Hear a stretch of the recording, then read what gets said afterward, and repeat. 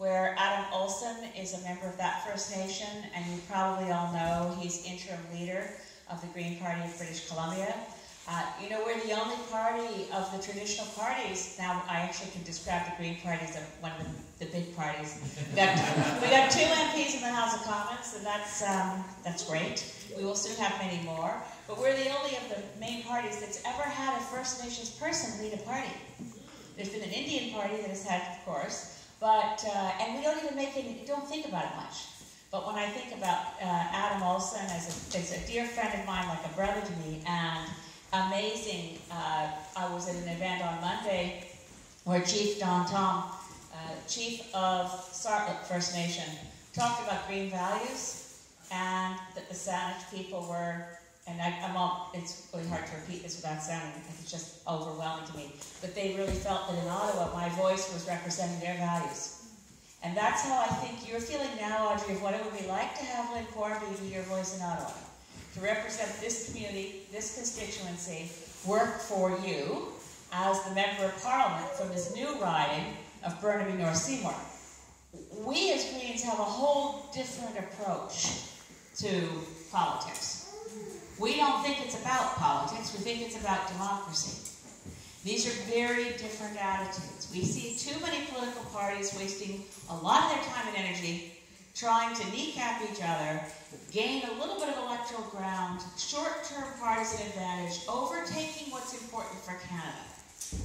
We had an event in my riding on Monday, an amazing thing. I mean, I was, we had 900 people show up because the Right Honourable Joe Clark spoke at a Green Party event. Now wrap your mind around that sentence. Um, and as I thanked him, I said, you know, it was wonderful to have someone here who uh, was not yet a member of the Green Party. So he, he chuckled because he has no political party. He never joined the Conservatives after the uh, Reform Alliance takeover.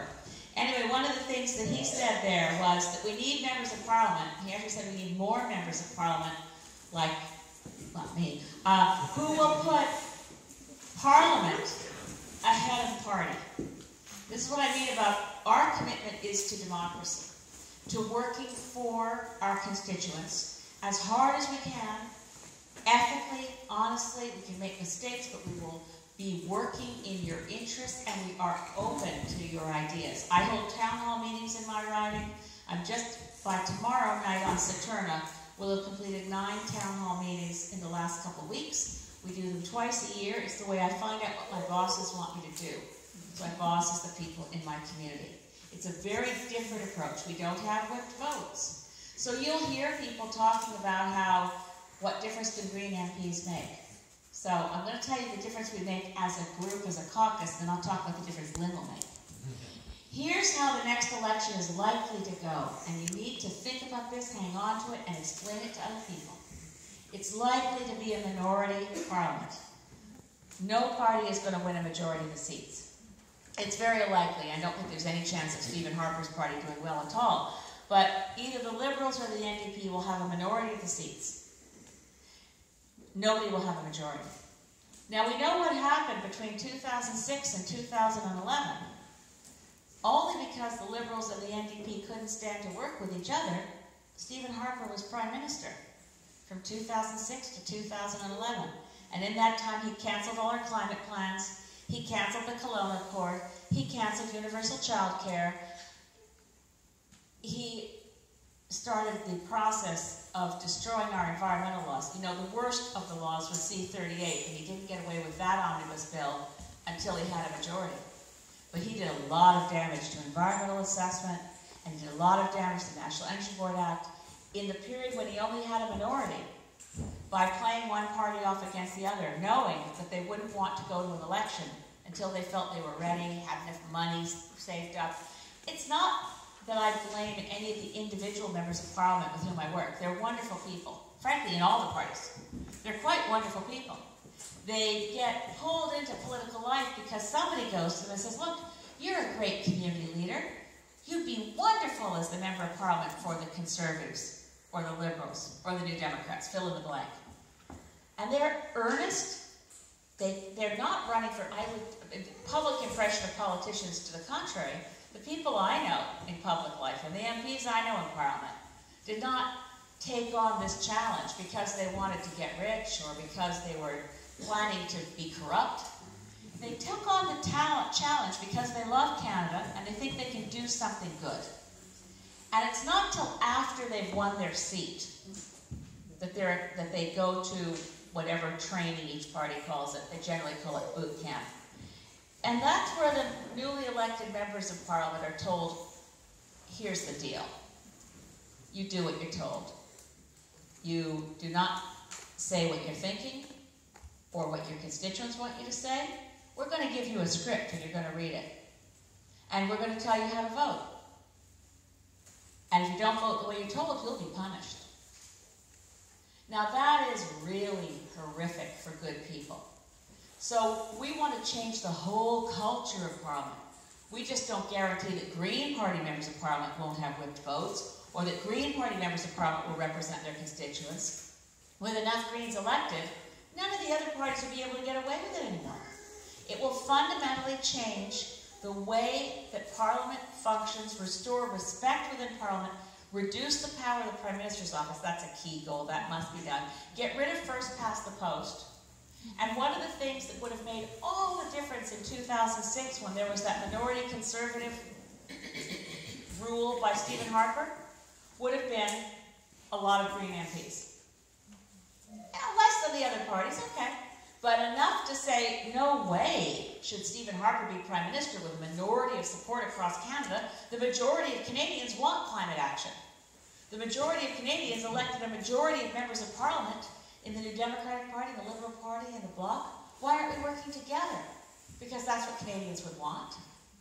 Well, we know why they don't. They don't. They're not willing to over to overcome this hyper-partisan nonsense. So, number one, this election is going to change everything because we can and will elect a lot of Green members of Parliament. And one of them will be Lynne Quarmby.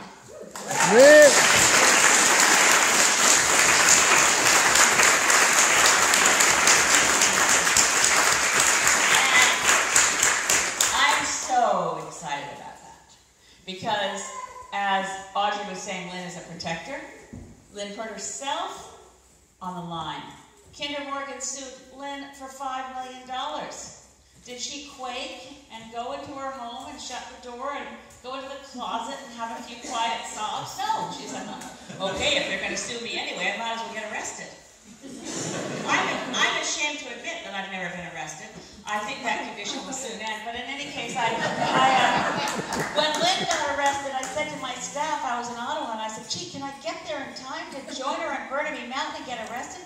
Well, it might interfere with going to Lima for the climate negotiations. So, in any case, I am overwhelmed by the courage, the energy, the passion, the brilliance, of someone who spent her life working in science and then sees that the system in which we're living right now has decided that science is dangerous because it informs us to make wise choices. So we muzzle the scientists, we gag the scientists, we fire the scientists. We want to go boldly forth under Stephen Harper's agenda with putting all our economic eggs in the bitumen basket and think that somehow the wealth at the top of the 1% is justification for leaving behind the 99%. So social justice gets ignored, fairness gets ignored, the climate crisis gets ignored. Local democratic rights of a community like Burnaby to say no to Kinder Morgan get ignored. Now's the time to stand up. And Lynne Quarmby, to my eternal amazement and gratitude, has stood up. She will be your next member of parliament. Think about how wonderful that will be. There is no MP in this riding now. There is no incumbent. To have someone working for you who is so magnificent that you will, for the first time in your life, feel, I am so happy with my member of parliament. I can't wait to go out and tell other people that's my member of parliament. So with that, I want to introduce to you your next member of parliament, Lynne Quarmby.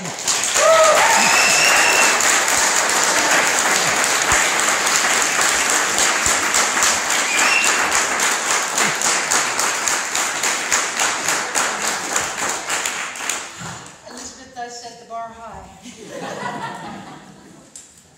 So before I begin, I do want to give a shout out to um, the people of Burnaby Mountain. I want to mention um, some of whom are here, who've been working for years to fight this Kinder Morgan expansion project. And I want to fight the people who just came out and joined the grassroots momentum. Um, many of you, many faces familiar in this audience from up on the mountain. Um, and I want to just give a shout out and power to the people. And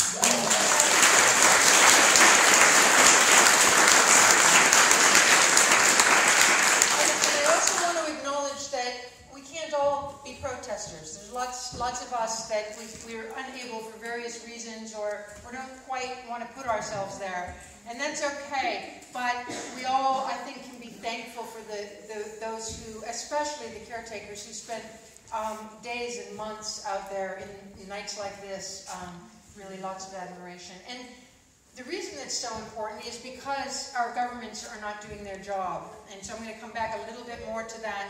But we wouldn't have to be out there doing that if our governments were doing their job. And no one was really up there for fun. I mean, it was nice and we bonded, we had community and all that stuff, but um, it wasn't really about having fun. so um, I, I am so fortunate to have Elizabeth as a role model. And um, there, in my career as a woman in science, that was kind of rare, but um, this is really an amazing opportunity. And one of the things I learned from Elizabeth is that campaigning is really um, one good way to think of it, a very valuable way to think of it, is that campaigning is a kind of a long job interview.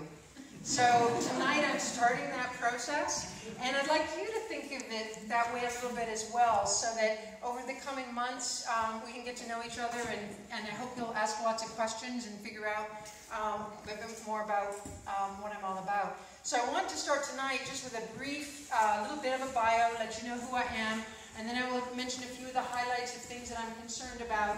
And I'm going to touch on things kind of superficially because uh, we want to, we've got a bit of a late start tonight, and we do want to leave uh, time for Q&A because I do think that hearing from you is, is really the important part of tonight. Um, so, okay, I am a Vancouver Island girl. I grew up in the Cowichan Valley, um, just outside of Duncan. I went, um, after spending my childhood out of doors, um, I went to UBC and did an undergraduate degree in marine biology.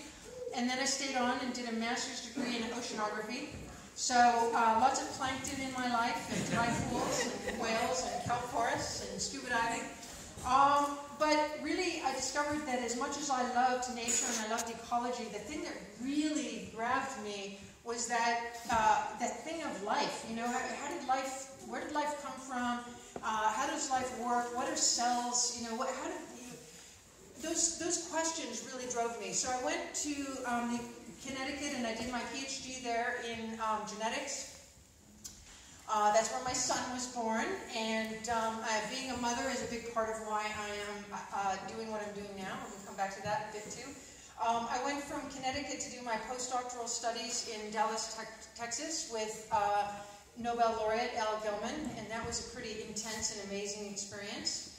And from Texas, I moved to Emory University in Atlanta, Georgia. And um, that's where I opened my first lab, had my faculty position, and I began the research um, that really has been my passion for the past 20 years.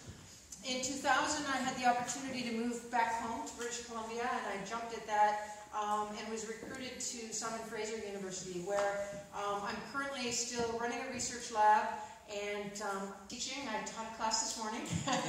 and um, also, I'm currently the chair of the Department of Molecular Biology and Biochemistry. So um, my days are kind of full right now. Um, as a scientist, I really have for years been uh, painfully, I think is the right word, aware of the evidence for climate change. I'm aware that it's happening now. I'm aware uh, that it is caused by the fossil fuels that we are burning. And um, I know that, and you all know, there's changes that are happening around the globe right now, changes that are happening in our Salish Sea. Our cold water is absorbing carbon dioxide, it's becoming acidified. Uh, the shellfish larvae are not, de not developing properly. We're losing biodiversity at rapid rates, and we don't even know what all is happening because, as Elizabeth mentioned, we fired our environmental scientists. And the ones we have left, left aren't there to, to tell us. They're not reporting back to us. So I find this whole situation unacceptable. And because it's unacceptable, um, I don't accept it. I get out there and do stuff. I've been writing letters and meeting with my members of parliament and writing op-eds and um, along with members of Broke and other people um, being sued by Kinder Morgan and um, looking at my, my co-arrestee Ruth, um, we rode the paddy wagon together. Um, I'm grateful um, to Ruth. And, but all of those things, I, you know, that's, that's pretty much it. As a citizen, there's not too much farther to go um, until Elizabeth May gives you a call and says, um, I need you in Parliament. um, I do. so it's, it's, it's a big step. It, for me, it's a huge sacrifice. Um, I love I love my career. I love what I do. I love the science I do. Um, one of my favorite PhD students ever is in the audience with her baby tonight, Laura. Um, and uh, if anyone wants to know more about our research, if you can't corner me, you can corner Laura. Um, and it's always been a pleasure. And one of the great pleasures of doing research is to work with our graduate students. Um, and I just, I just, it's, it's really hard, um, really, really hard to, to consider the sacrifices of not doing that.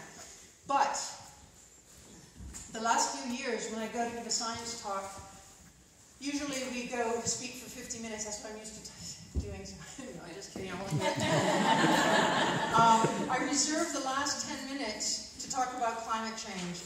And I, and I always mention that, you know, I, I, I try to stay focused on my science, but when the science papers come in my inbox and there's something that would have really excited me to read it, I, it, the energy is not in the same place anymore because I'm so distracted by what's happening in our world.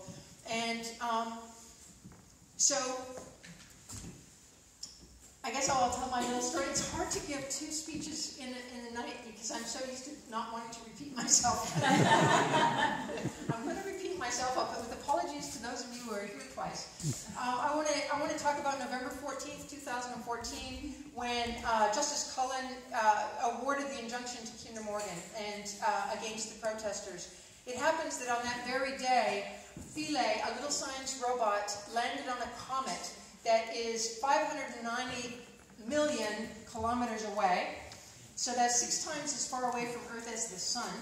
And that comet was moving at 135,000 kilometers per hour at the time that we landed a little robot on it. So that's pretty amazing accomplishment. So if you have that in perspective and you step back and you say, okay, what's, what's, what's wrong here? We've got this climate thing, we've got this democracy thing, it's not rocket science. We can solve those problems. We can solve those problems. So why aren't we solving those problems? What's the big problem? So you step back and you heard from Elizabeth about the issues with democracy and the hyper-partisanship and the fact that we're not having debates in Parliament and that votes are whipped and that the PMO's office is, the PMO is controlling everything. And you have to say, okay, um, there's a number of things we can do.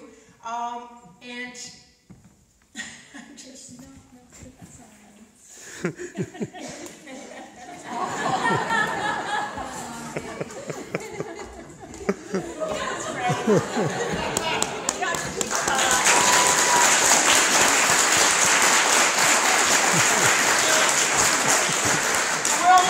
politicians who memorize speeches ahead of time and repeat them robotically. I'm so happy that Len will be in Parliament.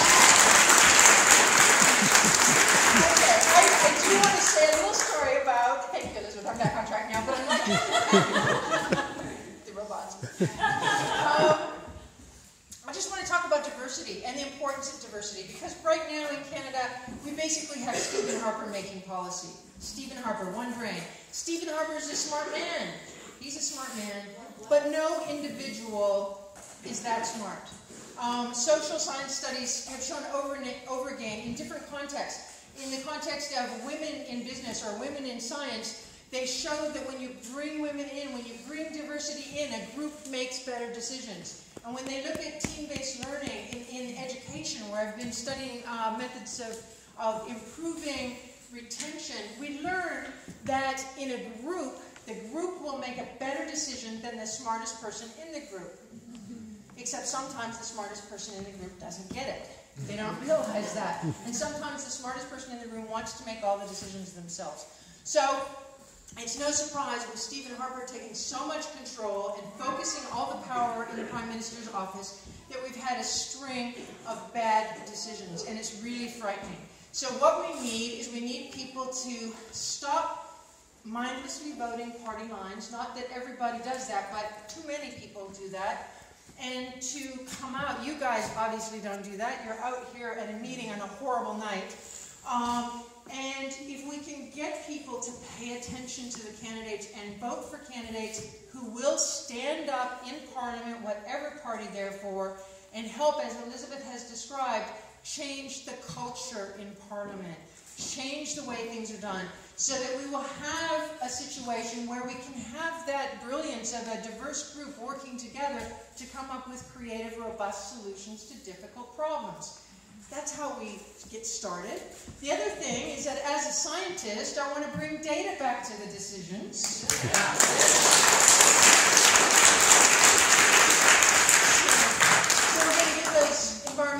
Rehired and we're going to let them tell us what we need to hear so that we can make good decisions. We're going to bring back long-form census. We're going to do all of those things as well. And when we have this functioning parliament, we're going to send Elizabeth May in December to COP21 to be a leader, to represent Canada, to have a team that will set an example for real change. And we know she can do it.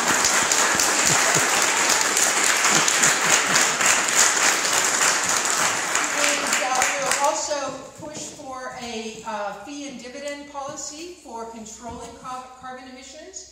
And the fee and dividend, dividend, although it's only in a small way, it will also help offset inequality.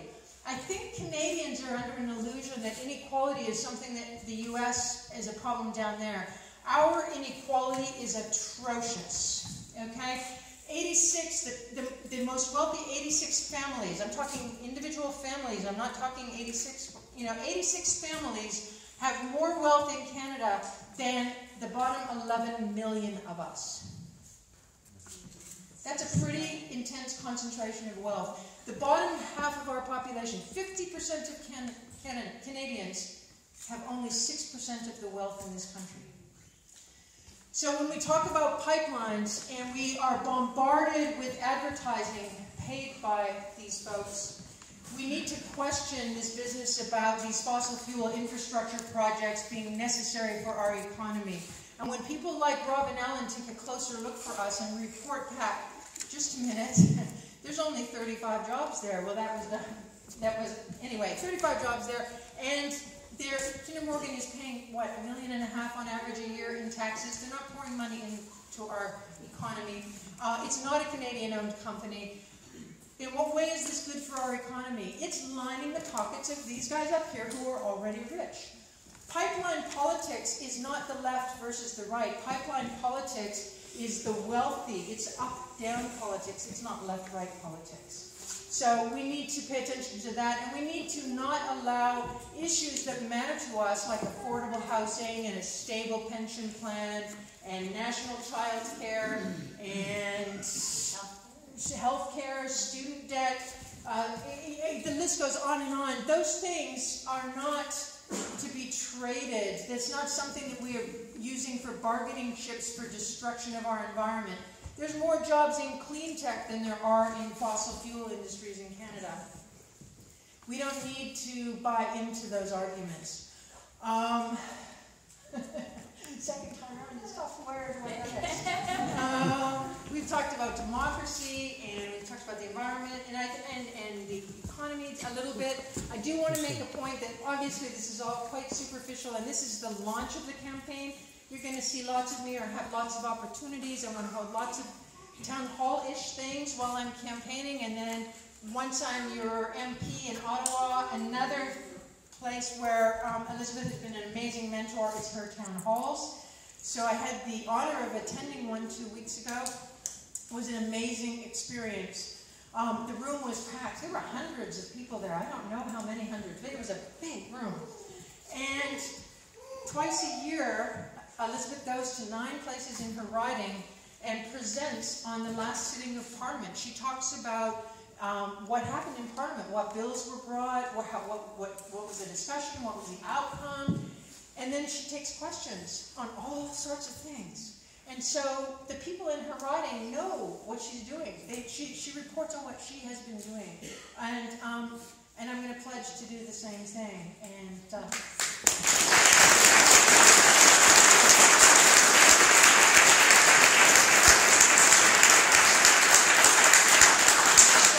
just like close one really final little comment on on diversity. And I made the point about these diverse groups making the best decisions.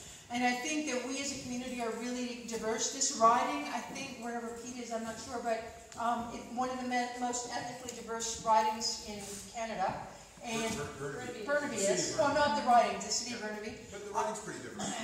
And, you know, most of us have, well, my, my family, for example, we immigrated here uh, three generations and four generations ago. And we all bring something different. We all bring something new, and that's important in terms of having these conversations. But what's really important is the something old. The Aboriginal peoples who have belonged to this land for countless generations and have taken the stewardship of this land as a sacred responsibility.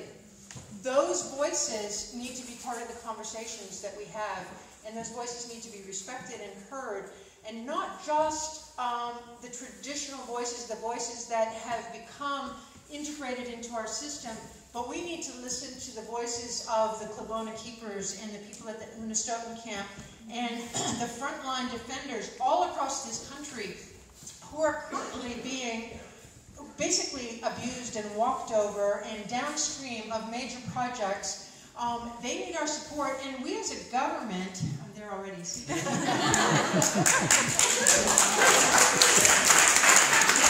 we, we as a government should not be opposing these people. We should be, they're on our side. They're standing up for our environment. And this, not ours, not theirs, the, the, the environment that we all share. And we need to be listening and we need to be supporting. And so I also pledge to support, not just in the formal channels of government that frustrate um, many of these people, but to continue, as I leave activism and move into politics, to continue to support those frontline defenders.